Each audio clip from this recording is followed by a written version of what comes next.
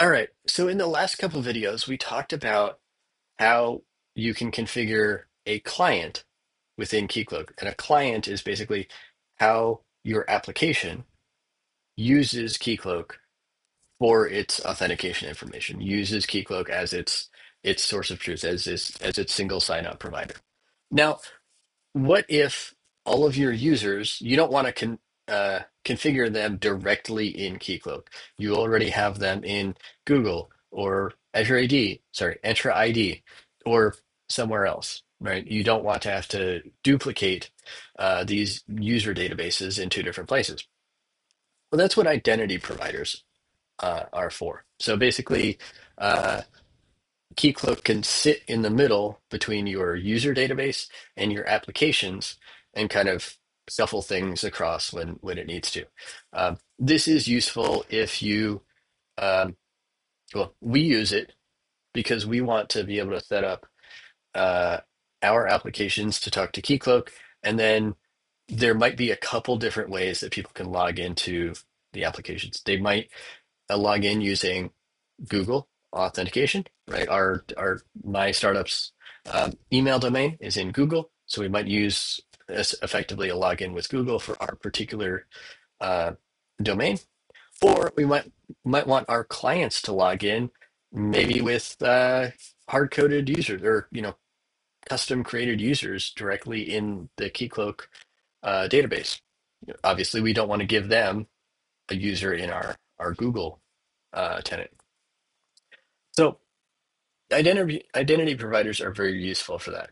Of course, you can go directly the hard route and do uh, Keycloak OpenID Connect, which I think basically uses um, another realm as the identity provider for this realm. So, like, uh, if everyone who has access to the master realm should automatically have access to the demo realm, I could set up. Uh, I could basically configure all of this information to point to the appropriate places on the master realm, and then it would basically pass through um, authentication information. You could also use any OAuth 2 provider and enter the custom information there. Similarly with OpenID Connect or SAML 2.0.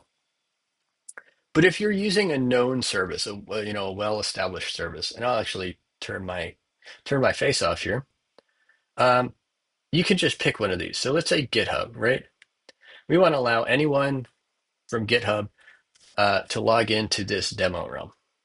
So here we uh, specify basically anything that's blank, you have to provide, especially the client ID and the client secret. And we'll get that from GitHub. We'll have to create a client in GitHub, um, similarly to how we created a client in Keycloak. Uh, and this basically uh, when we when we create that client in GitHub, GitHub will give us a client ID and a client secret. That client ID and client secret allows Keycloak to hand off the right information to to GitHub to say, "Hey, log in this user." GitHub does its thing and sends back some information, and then Keycloak is able to exchange the authorization code for a user token or an access token, uh, and then probably uh, perform authentication and hand its own authorization code to the application that the user is trying to log into, and then the application does its its dance and, and uh, exchanges that app, uh, authorization code for an access token, um, and everybody's happy. So this can get super complicated super quickly, uh, but obviously these two are the most important aspects. Those are, those two are required. Depending on the application, those two might also be required.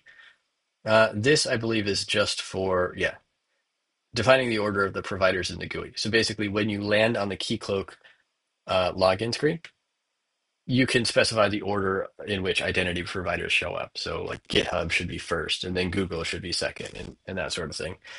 Uh, and then display name so let's say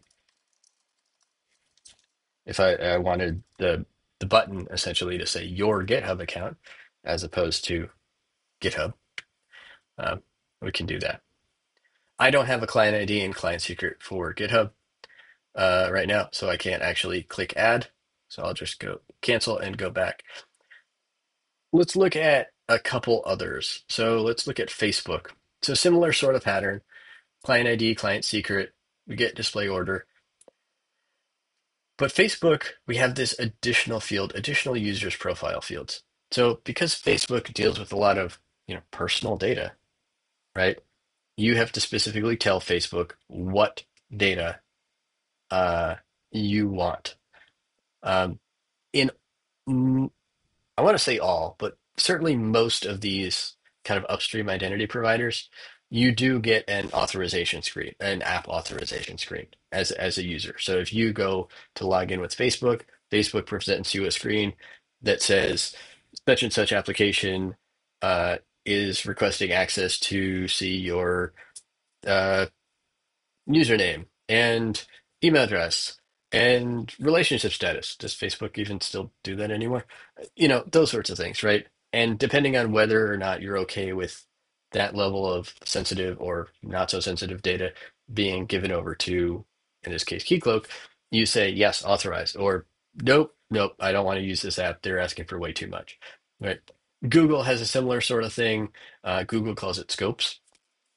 Um, and depending on what you ask for, uh, there are actually various degrees of verification that your application has has to go through in order to be listed or in order to be able to use the Google uh, upstream within a particular tenant, like for internal applications. So, you know, my company's uh, internal applications to be able to use my company's Google tenant information, um, th- there's a lower bar. We can pretty much do whatever we want there.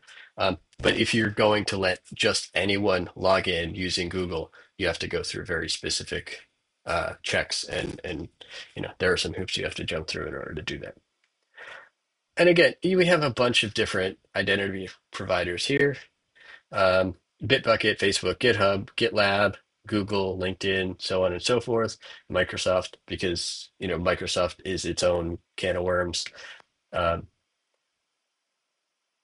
Yeah, so Microsoft has a this tenant ID thing, which is kind of unique to it.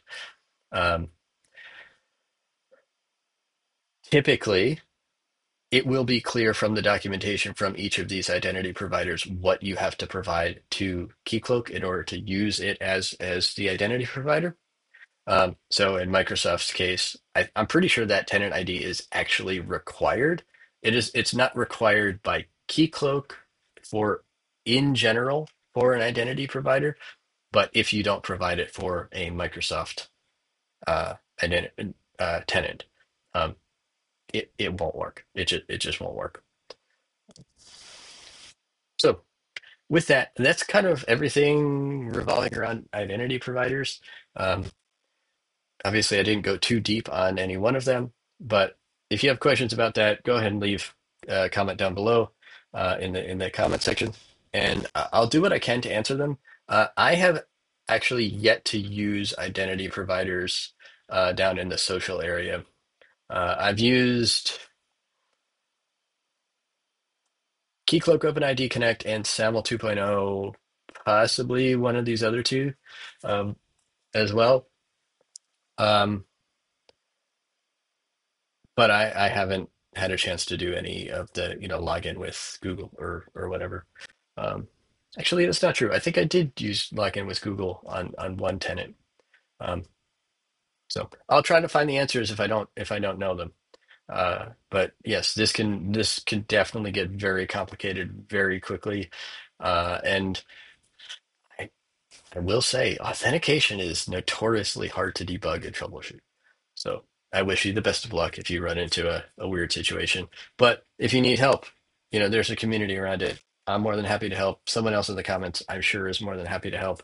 Um, and Keycloak has a, thriving community. There's community forums and and a whole bunch of other places that you can get get help. So with that, I think this might be our last video for the course. I don't know. You'll have to check the playlist to see if there's another video coming up. Um, but this might be it.